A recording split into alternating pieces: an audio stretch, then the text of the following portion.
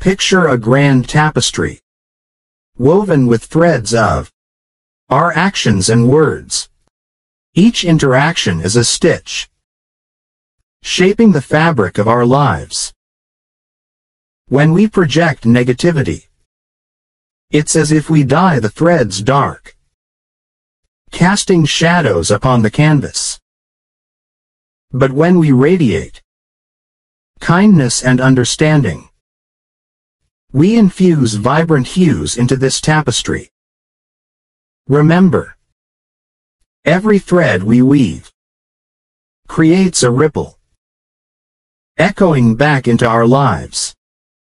Let's be mindful weavers, crafting a masterpiece of positivity. In this grand design of existence,